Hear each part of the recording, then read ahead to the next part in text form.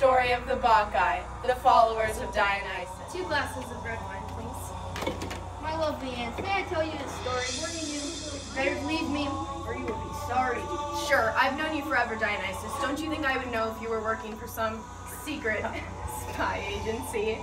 Why would I joke about something like that? Because you're always joking. We can't trust you. You're always messing with our minds. Fine, so be it. One drop could change everything. What happened here? Why are you dressed like that?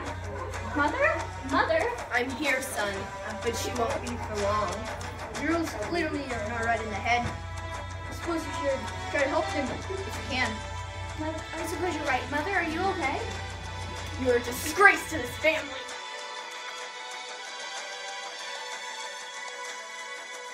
The madness has just begun.